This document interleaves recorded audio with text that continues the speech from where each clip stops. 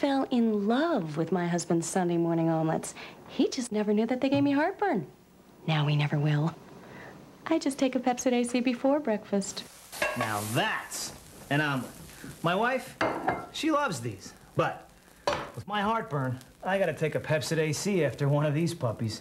Before a meal or after, Pepcid AC lets you eat the food you love. Honey, you did it again. Oh Well, You can be heartburn free with Pepcid AC.